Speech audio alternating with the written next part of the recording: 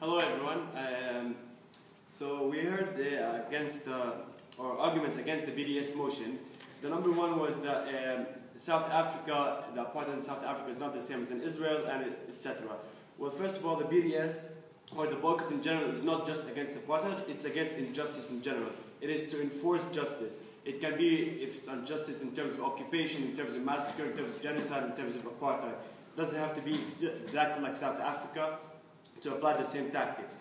Now, about the apartheid in South Africa, it was a tiny minority that wanted the, sort of the slave labor of the majority, and that's why they had apartheid. In Israel, it's a bit different. The reason why there's apartheid in Israel is because it wants to maintain itself as a Jewish-only country, and that by itself makes it an apartheid state because it has power over the West Bank, and yet the West Bank citizens, more than 2.5 million, they're not allowed to vote.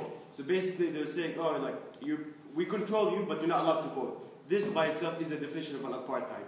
So now we have to, we, no doubt Israel is guilty of apartheid, of war crimes, and of many disgusting actions.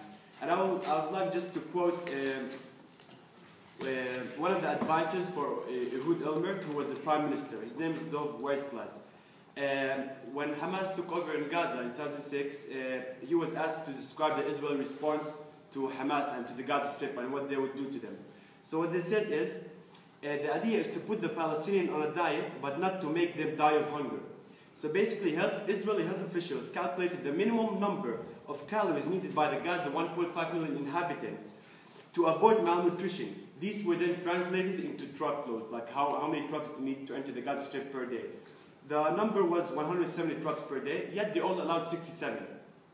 And that uh, made the International Committee of the Red Cross respond in early 2008 and make a report saying about the Gaza Strip that there is chronic malnutrition on the steadily rise and there's micronutrient deficiencies uh, of great concern in the Gaza population. so they're, they're also starving them. So no doubt Israel does, uh, is doing something wrong, so we have to punish it or put pressure on it.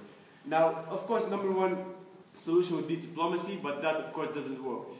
Israel has broken more than 65 UN resolutions, not one single punishment.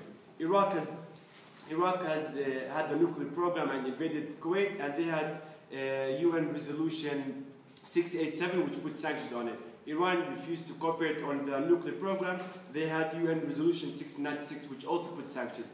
Israel kills, breaks more than 65 UN resolution, and what do they get? They get aid. They get more military aid, they get more money, they get more weapons to, yeah, go ahead, kill Palestinians. That's perfectly fine. So now about the Israeli public and this sort of leftist that they want to do peace with the Palestinians and all that nice nonsense, really. Uh, it's not true at all. Actually, just on March 17th, about less, less than 10, nine days ago, they had the Israel elections. The prime minister then, who got re-elected, has said one day before the election, if I am elected, there will be no Palestinian state. That's what the prime minister said, and he got re-elected. So I don't know where is this Israeli who want to make peace. Yes, there are a little bit of them. Uh, actually, the, the leftist party who wants to do a Palestinian state, they got four chairs out of 120 which is the minimum threshold to go in. So they barely got into parliament. The rest are rightists and ultra-nationalists who do not want a peace solution, and that's why uh, the majority of them spoke against uh, and uh, voted for people who are against Palestinian statehood. So it's not a matter of they want to support it, they do not want to support it. So it is up for us to take action to put pressure on Israel, since the international community will not do anything, the UN will not do anything, and Israel people are not doing anything. We have to do something. Please vote yes for BDS.